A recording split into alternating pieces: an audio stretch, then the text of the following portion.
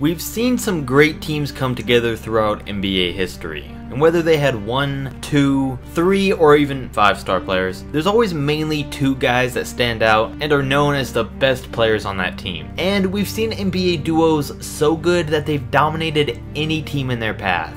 It can be their chemistry, their skill sets, or a combination of the two that makes them so good together. And today we're not only going to be looking at 10 of them, but we're going to be ranking the 10 greatest duos in NBA history. So without wasting any more time, let's get started with number 10, Steph Curry and Kevin Durant. It used to be Klay and Steph as the duo of Golden State, but ever since KD came, he took Klay's spot.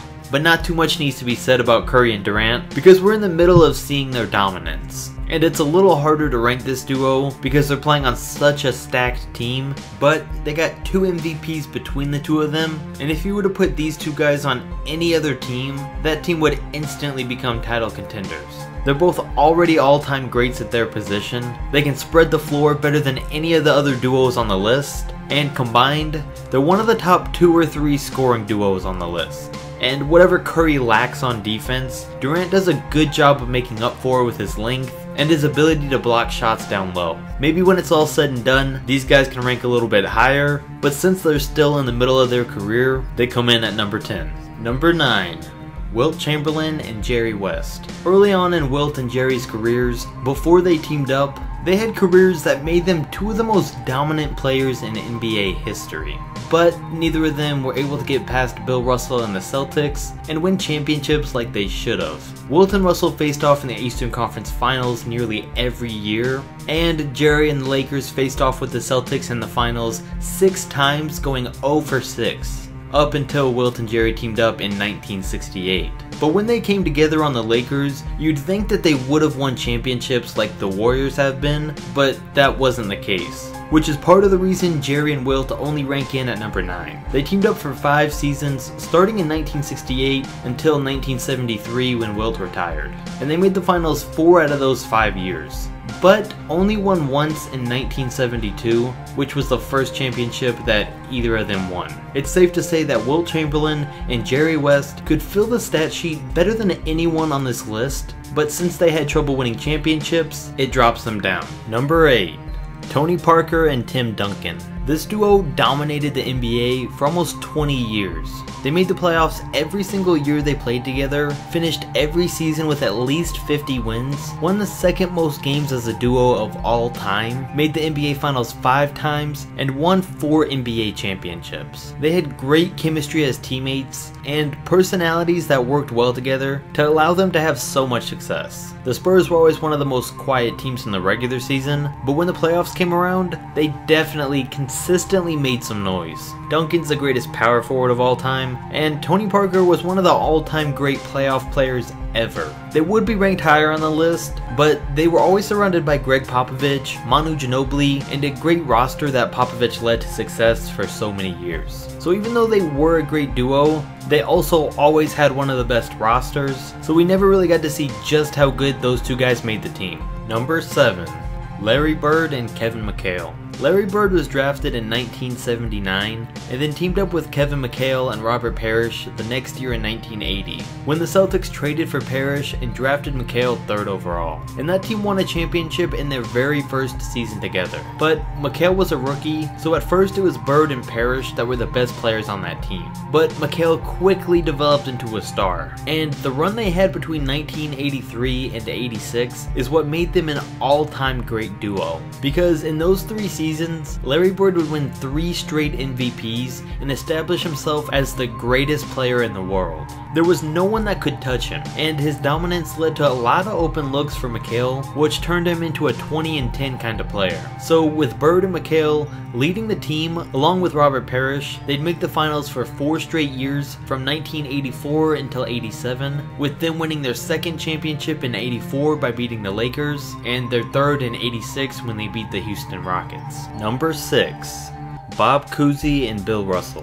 We all know the type of career that Bill Russell had, but Bob Cousy was a big part of that. He was drafted in 1950, and by 1956, Cousy was described as not only a fan favorite, but as a point guard that used street ball moves to become one of the best in the league at that point. So once Bill Russell was drafted the next year, Bob was the perfect guy to lead the team on offense, while Bill Russell led the team on defense which led to the two dominating on both ends of the court all the way until Cousy retired after the 1963 season. Up until that point though, Cousy won one MVP, Bill Russell won four of them, and combined, they helped the Celtics to six NBA championships in their seven years together. Number 5. John Stockton and Karl Malone. Whenever you think of NBA duos, Stockton and Malone are one of, if not the first that comes to mind. And it's weird to put a duo that won no NBA championships higher than one that won six, but Stockton and Malone had such great chemistry for so long that they deserve the spot. They spent their entire careers together and without a doubt made each other better. Because separately, they were both great players, but they weren't the greatest college players and were picked 13th and 16th overall. So nobody knew just how good they'd become when they got paired up. They ran the greatest pick and roll game in pretty much the history of basketball, which is what helped Malone become the second all-time leading scorer and Stockton become the all-time leader in assists. They played together as teammates and at a high level longer than anyone on this list. Throughout the entire 90s, the Jazz almost always finished with at least 50 or 60 wins, and both John Stockton and Karl Malone averaged insane numbers. Malone averaged 27 and 10 and won 2 MVPs, and Stockton averaged 15 points and 14 assists a game. As a duo, they were a perfect complement for each other, but like I said, the fact that they never won a championship does drop them down. Number 4. LeBron James and Dwyane Wade. LeBron and Wade had some of the best chemistry we've ever seen between teammates. We all remember the passes that Wade would throw to LeBron without ever even looking back. Now, most of the greatest duos in league history were between a big man and a perimeter player, but the fact that LeBron and Wade could coexist and become one of the first teams to succeed by playing small ball is what helped them become an all-time great duo. And the fact that they had the greatest small forward ever in LeBron and a top 3 shooting guard of all time in Dwyane Wade only helped their case. They made the NBA Finals every year they played together, went on a 27 game win streak at one point, and dominated the regular season and the playoffs. Number 3. Kobe and Shaq. Once Kobe and Shaq teamed up, it took Kobe a few years to develop into a great player and for them to really come into their own. But once they did, starting in the 99 season, they became dominant. Because this was when Shaq really established himself as the most dominant center in league history, and when Kobe established himself as the top player in the league. He wasn't considered as the second greatest shooting guard of all time at this point, but he was working his way there. There wasn't a team in the league at this point, and not many other teams in history that could stop the one-two punch of Kobe and Shaq. Kobe could dominate the best perimeter defenders, and Shaq could dominate pretty much every other big man in the league. So even though they were dominant on the court, the fact that their run was cut short due to their competitive personalities, not being able to coexist slightly hurts their ranking. Number 2.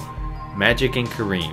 Alright, let's be honest. Even if Kobe and Shaq could coexist, they'd still fall behind Magic and Kareem. Because they were a duo with the greatest point guard of all time and the greatest center of all time. They played together for 10 seasons, made the finals in 8 of them, and won an NBA championship in 5 of them by beating teams like the Julius Erving led 76ers, the Larry Bird Kevin McHale Celtics, and the Bad Boys Pistons. There was already no center or team in the league that could stop Kareem and his skyhook, so when the Lakers combined that with Magic Johnson, they became unstoppable. Because they had Kareem to lead the team off the court and Magic to lead the team on the court. And what really helped this Lakers team was the fact that they really couldn't get double teamed because if they double teamed either Kareem or Magic, they were both smart enough players and had the skill to always be able to find the open man. And all of this is what helped them dominate the entire 80s. Number 1.